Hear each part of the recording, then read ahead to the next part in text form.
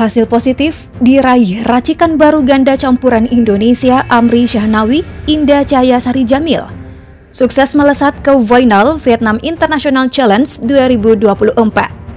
Yuk, debut Amri Indah sebagai pasangan membuka harapan baru bagi sektor ganda campuran bulu tangkis Indonesia. Sebagai pasangan debuter tentu tidak mudah untuk bisa tembus hingga final. Kejutan ini dipersembahkan Amri Indah setelah mereka memastikan diri merebut tiket final usai meraih kemenangan atas unggulan pertama asal Taiwan Chiu Xiang Che, Lin Xiaomin. Perjuangan itu nyata. Meski sempat tertinggal pada game pertama, tapi Amri Indah mampu bangkit dan menyelesaikan laga secara rubber game.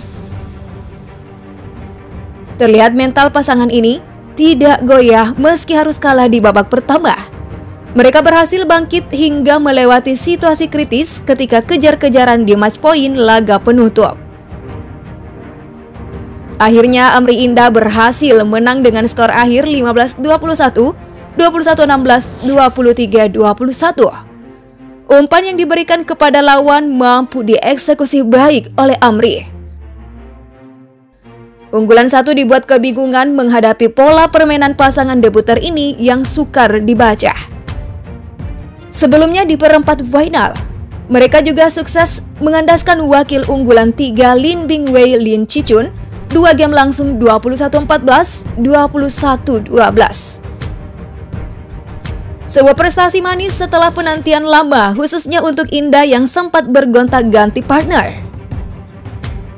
Nah, pada laga final, sayangnya Amri Indah harus tunduk dari unggulan keempat Thailand.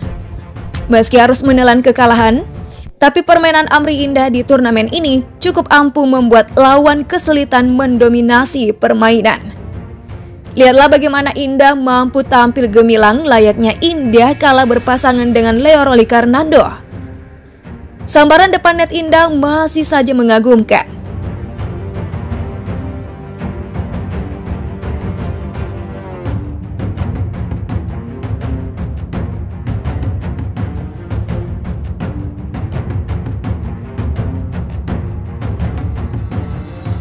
Gagal meraih podium tertinggi karena banyaknya eroria hingga menjadi alasan mengapa mereka malah kehilangan poin.